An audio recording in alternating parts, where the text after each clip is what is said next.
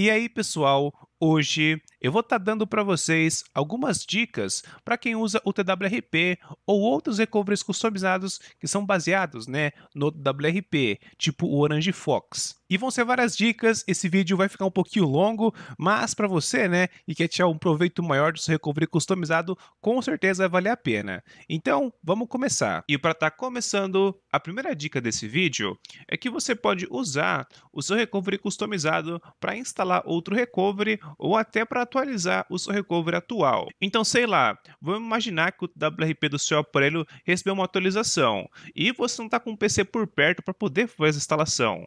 O que você pode fazer é baixar né, a versão mais recente no seu aparelho. Aqui eu já baixei, vou até abrir aqui o explorador de arquivos, ó.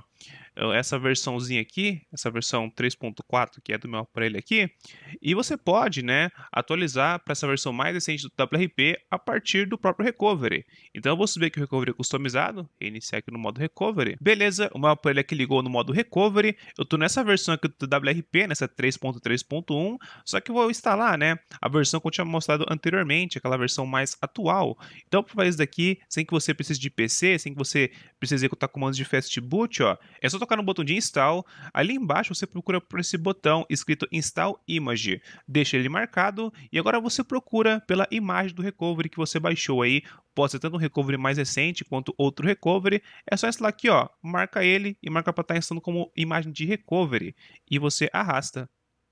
E prontinho, o recovery aqui foi instalado. Agora é só reiniciar o aparelho no modo recovery mais uma vez, que ele já vai né, carregar o novo recovery que você instalou. E olha, atualizadinho, versão aqui 3.4. O TWRP e outros recoveries customizados têm uma opção de reparar o cartão de memória. Então, vamos imaginar aí que você ligou o seu aparelho Android e do nada vê uma notificaçãozinha falando que o cartão de memória corrompeu.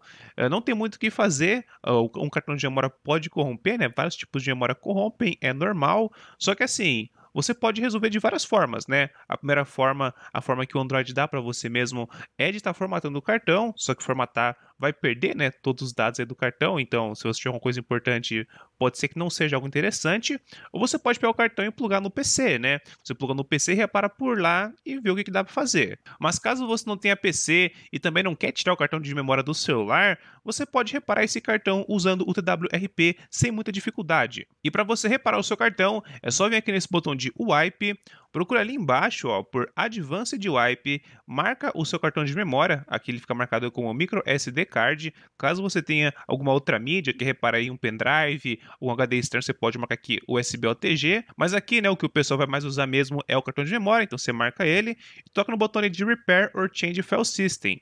E ali embaixo ó, tem esse Repair File System, é só tocar e ele vai fazer o reparamento do seu cartão. Ó reparando o micro SD card e já apareceu Doni. Então você pode reparar né, o seu cartão de memória usando o TWRP ou outros recoveries customizados. No Orange Fox pode ser que os botões né, fiquem em lugares diferentes, mas uh, com certeza ele também tem essa função. E depois do reparo, ó, o cartão está aqui reconhecido normalzinho. A próxima dica também é relacionada ao cartão de memória. E pessoal, usando o recovery customizado, você pode formatar o seu cartão SD em outros formatos. Então, se você quer formatar o seu cartão em XFAT, em FAT32 ou algum outro, tem como formatar por aqui, ó.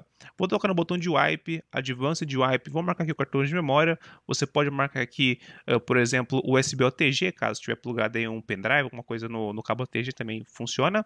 Mas, ó, cartão de memória, vou tocar o Repair or Change File System e Change File System. Se eu quiser formatar aqui esse cartão, por exemplo, para FAT, para XFAT, para F2FS, eu posso formatar né, o cartão aqui nos formatos que eu quiser. Para quem não sabe, a maioria dos recoveries customizados tem uma opção de explorar de arquivos, né? Que você consegue explorar os arquivos do seu aparelho Android. Então, aqui o WRP é em Advanced e tem esse negócio de File Manager. E dá para fazer diversas coisas usando o Explorer de arquivos. Uma das coisas mais úteis que você pode fazer usando o File Manager do Recovery é estar tá removendo a senha de tela de bloqueio do seu aparelho. Então, aqui, ó, o meu celular, ele está aqui com uma senha. Vamos imaginar aqui que eu não lembro a minha senha e eu quero tirar essa senha para poder usar o aparelho novamente, né? Tirar essa senha aqui. Para fazer daqui é super suave, é só abrir o File Manager do Recovery. Então, eu vou abrir aqui o File Manager. Beleza, Advanced. Vamos aqui agora em File Manager. E agora você abre a pasta Data. Procurar pela pasta System. Cadê aqui embaixo? Ó? System. Agora vamos descer e procura pelo arquivo escrito Lock Settings. Dependendo do seu apoio, pode ser que apareça mais de um. Aqui o meu apareceu três, né? Então tem que remover todos esses arquivos que estão escrito Lock Settings. Vou marcar esse primeiro, Delete, arrastar. O mesmo para o segundo arquivo, Delete, arrastar e o mesmo para o terceiro. Só marcar aqui os três arquivos, né? Depende se eu tenha mais, depende se eu pode ter menos. Mas agora, removendo esses arquivos, né? Vamos reiniciar o aparelho e vocês vão ver que não teremos mais senha na tela de bloqueio, porque a gente removeu usando aqui o File Manager. Aparelho inicializado, vou desbloquear a tela, ó e agora não tem mais senha de bloqueio. Outra coisa interessante é que você pode remover módulos do Magisk usando um recovery customizado. Então, vocês estão vendo aqui que eu estou com dois módulos instalados, estou com esse BuzzyBox e esse Nano, e vamos remover um deles usando um recovery. É muito interessante fazer isso caso você tenha instalado algum módulo, né, e esse módulo acabou bugando o seu aparelho, você não consegue mais subir o sistema, né, o módulo deu algum boot loop, só que usando isso aqui você pode remover né, o módulo a partir do recovery e então quebra um galhão. Então vou subir aqui no recovery, beleza, Advanced File Manager, novamente vai pela pasta data, agora ali em cima essa pasta escrito ADB e procura por módulos. Aqui vai aparecer os módulos, né, que estão instalados no seu aparelho. Então aqui, né, igual antes, BusyBox e esse Nano, eu vou remover aqui só esse Nano, vou marcar ele, toca ali embaixo na pastinha e toca no botão de Delete. E é só arrastar. Agora a gente removeu né, esse módulo do Nano, vamos reiniciar o aparelho e ver no Magisk Manager se o módulo realmente sumiu de lá. Então, vamos esperar que o aparelho seja inicializado. Desbloquear a tela, abre aqui o Magisk. E na aba de módulos, e realmente o módulo que a gente tinha apagado sumiu. Outra possibilidade bem bacana que dá para fazer usando o File Manager do seu Recovery é estar tá desinstalando ou instalando aplicativos do sistema.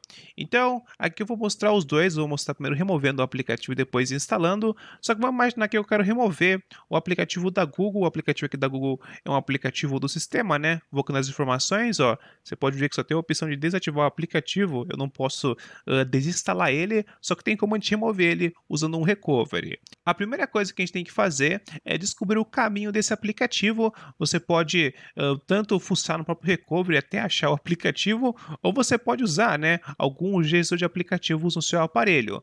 É, aqui para ficar fácil no vídeo, eu vou estar usando esse App Manager. Com ele eu vejo né, o caminho do aplicativo do sistema que eu quero remover e eu removo lá no recovery. Então, aqui de exemplo, eu vou remover o aplicativo da Google, vou procurar aqui por Google no aplicativo do App Manager. Já tem vídeo aqui no canal sobre esse aplicativo, então quem quiser ir uh, dar uma olhadinha, recomendo. Mas, ó, procurar aqui pelo aplicativo da Google, já apareceu, vou marcar ele. E o caminho dele, ó, é esse System Product Priv App Velvet. Então, se eu quiser remover o aplicativo da Google, eu tenho que remover essa pasta chamada Velvet.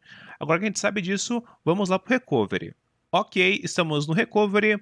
Agora toca no botão de Mount e vamos montar a partição do sistema para a gente conseguir né, ter à partição. Aqui embaixo tem essa opçãozinha escrito Mount System Partition Ready Only, deixa ela desmarcada. Né? A gente precisa escrever na partição do sistema para conseguir apagar um aplicativo de lá.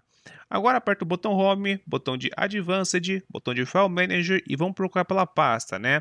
A pasta era a pasta System, é, Product né? e Priv App. Aqui no meu não tem nenhuma pasta Product dentro da pasta System, e caso o seu também não tenha, é só abrir a pasta System mais uma vez. Vendo aqui, ó, a pasta System mais uma vez, e agora procura, né? Pasta Product e a pasta Priv App.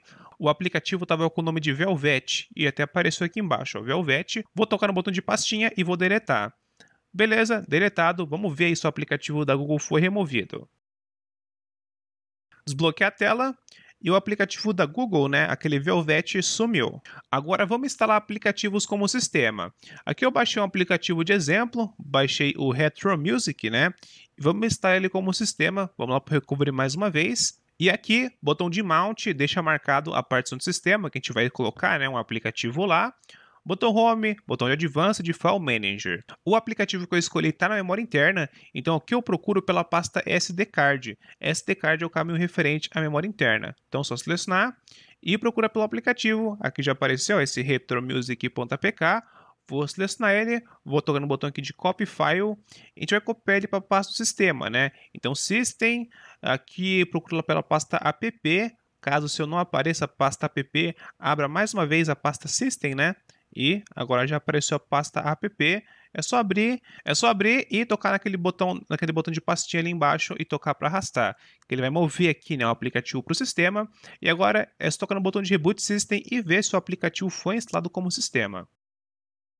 Vou desbloquear a tela e abrir os aplicativos. E ó, o Retro Music que a gente instalou como sistema foi instalado aqui. vou abrir.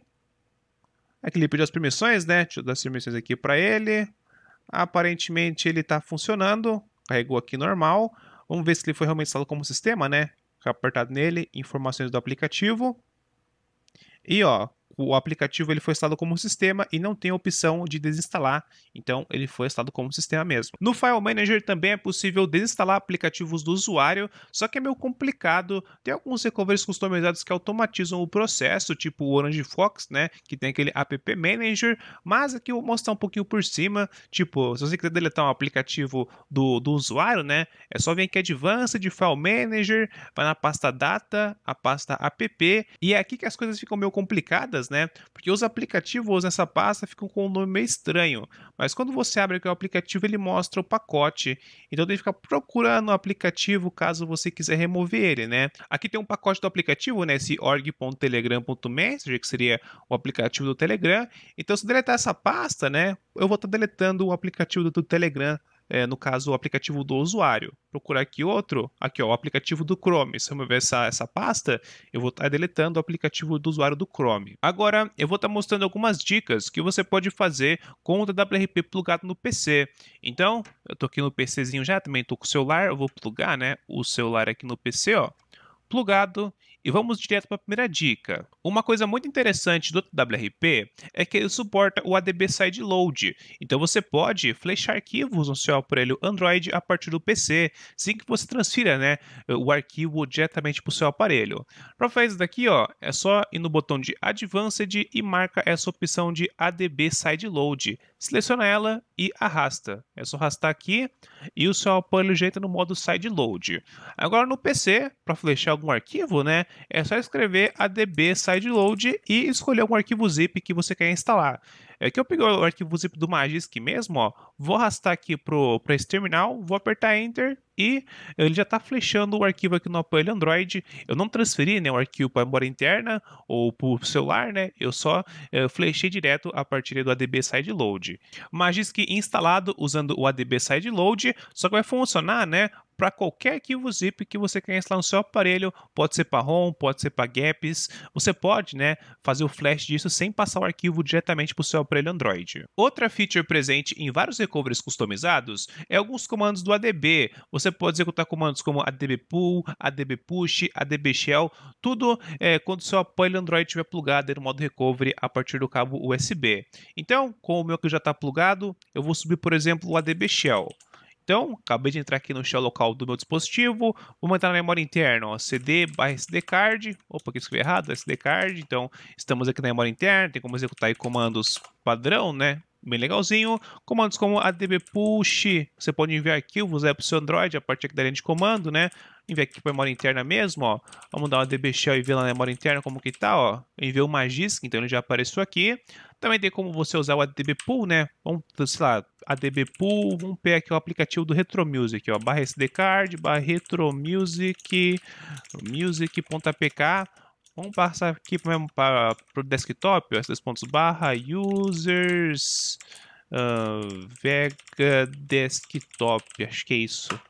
E ó, acabei de transferir o arquivo e ele já apareceu aqui, ó, retromusic.apk. Então, alguns comandos do ADB você pode usar é, estando com o aparelho no modo recovery. Uma das features mais legais do WRP e outros recoveries que são baseados né, no WRP é poder controlar o recovery inteiro a partir do shell local. Se você abrir aqui o shell local, ADB shell, ó, e executar o comando TWRP, todas as funções que estão presentes aqui no seu aparelho, com o botão de install, botão de backup, é, botão aí de mount, todas essas features né, que estão presentes no recovery, você pode fazer elas a partir da, da linha de comando. Então, por exemplo, tem o comando install, tem o comando backup, comando restore, wipe, sideload, set, um monte de comando para executar por aqui.